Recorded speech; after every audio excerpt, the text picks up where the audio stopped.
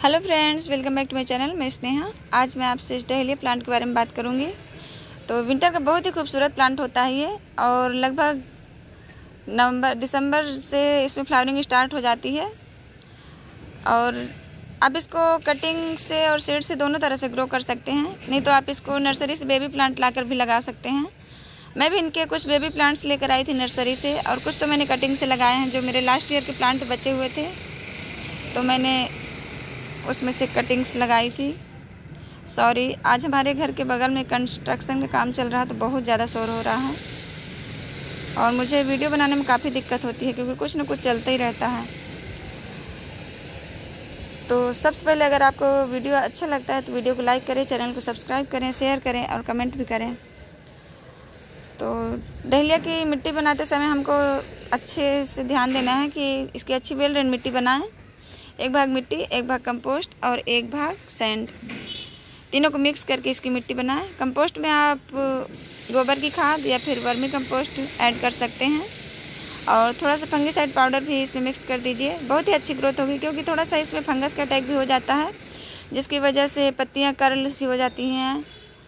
वो किसी पेस्ट का ही अटैक होता है जो कि फिर ख़राब कर देता है प्लांट्स को। तो आप ज़रूर उसको मिलाएँ थोड़ा सा अपनी मिट्टी में और बीच बीच में उसका स्प्रे भी करते रहें प्लांट पर। तो आप इनको चाहे जिस तरह से ग्रो करें, काफ़ी अच्छे यानी फ्लावरिंग आपके प्लांट में सॉरी गार्डन में करेंगे। तो मैंने भी कुछ प्लांट्स ये देखिए मेरा जो मैं बेबी प्लांट लेकर आई थी वो प्लांट है। और एक प्लांट मेरा कटिंग से लगाया हुआ है, ये देखिए। ये प्लांट मेरा कटिंग से लगाया हुआ है, इसमें पिंक कलर के फ्लावर आने वाले हैं।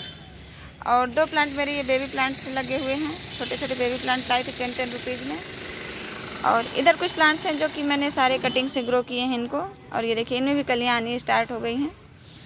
तो सबसे पहले हम इसकी मिट्टी की बात करते हैं। एक भाग मिट्टी, एक भाग सैंड और एक भाग कंपोस्ट तीनों को मिक्स करके इसकी मिट्टी तैयार करनी है। और उसमें आप चाहे तो एक दो चम्मच चाय पत्ती भी, जो यूज़ टू चाय पत्ती होती है हमारे किचन में तो आप उसको भी यूज़ कर सकते हैं। काफ़ी अच्छा रहता है। और अगर आप केमिकल यूज़ करना चाहते हैं तो आप इसमें डीएपी के भी दो चार दाने डाल सकते हैं। तो मैं तो नहीं करती केमिकल का यूज़, इसलिए मैं ज़्यादा यानी आप लोगों को बताती भी नहीं हूँ केमिकल के बारे में।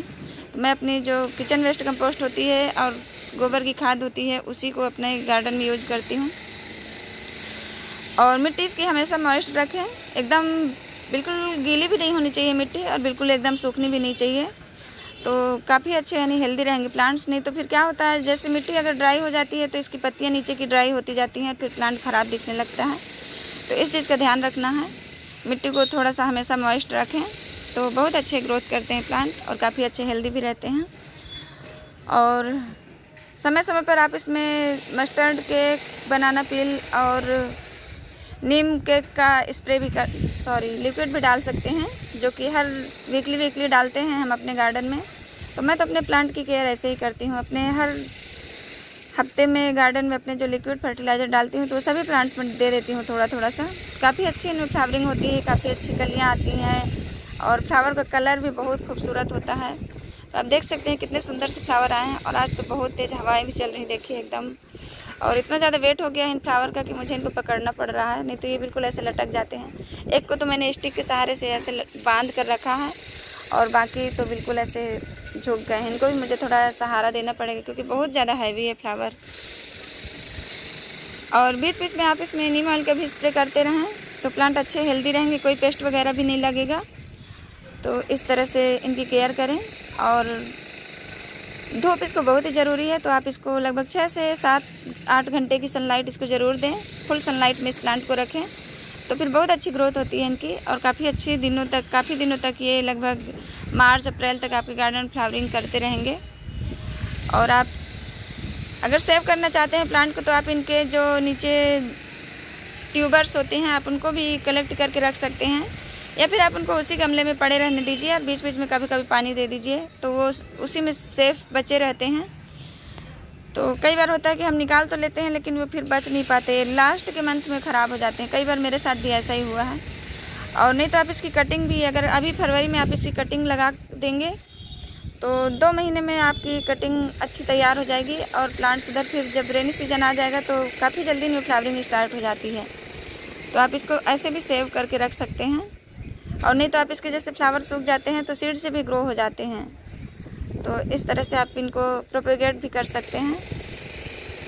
काफ़ी सुंदर होता है और विंटर का जो जितने भी फ्लावर होते हैं, सबसे बड़े फ्लावर इन्हीं के होते हैं। बहुत ज़्यादा सुंदर होते हैं और बहुत अच्छा लुक देते हैं गार्डन को।